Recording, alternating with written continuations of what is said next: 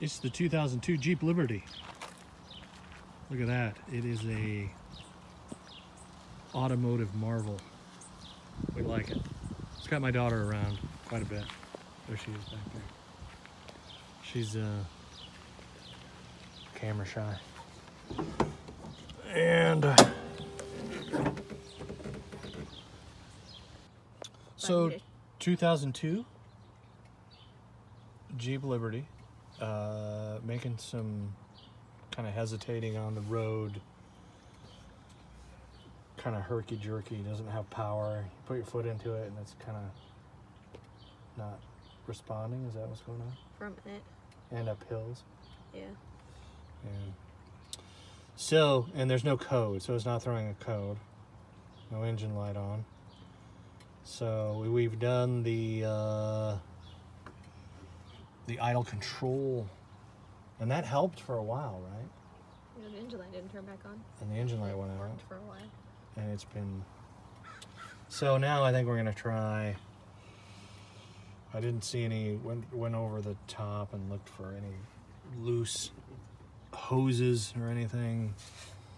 I didn't see any of these vacuum hoses all seem to be good and intact. It's always good to make sure you look over that one little vacuum leak and it can sorts of problems you have your that's where your fuel comes in but we'll try the PVC valve. It's kind of a common problem. If this engine can't breathe and that's clogged up, which odds are it is, that can that can cause the problem. So let's give that a try. So it's good to try and pry from the bottom. Just try and be careful you don't rip it and pull from the back. All right. Now depending on how how tight your uh, hose is on here. And this one's pretty, like it should be a lot more rubbery than that. It's hardened from the heat over time. Vehicle's almost 20 years old. It's 18 years old. It's old enough to go to the movies. Used to be able to buy cigarettes, but oh, there it goes. Man, it's just so goes. Nice. All right, and then you simply push down and pop it out this way.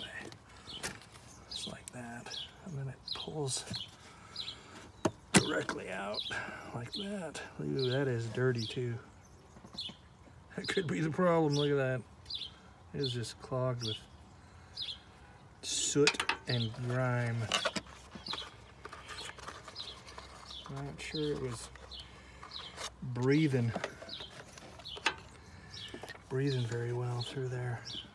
So then we go down here like that. Push it in. No, come on.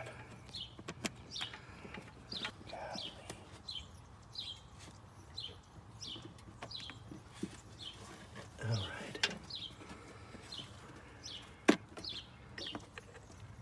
It's tight, man.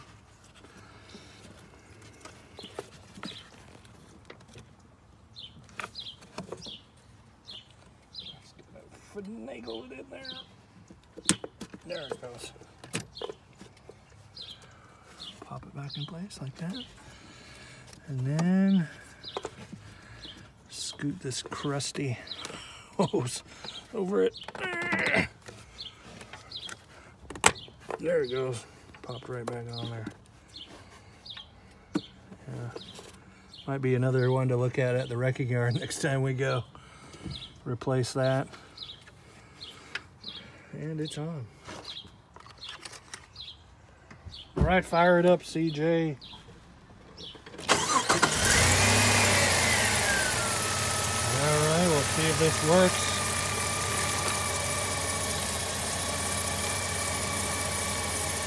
Give it a little gas.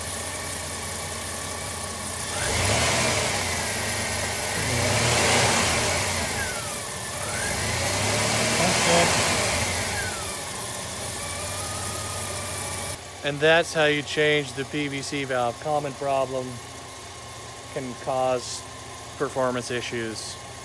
Give that a try. It's like seven bucks at O'Reilly for this little part. Piece of cake. Easy peasy.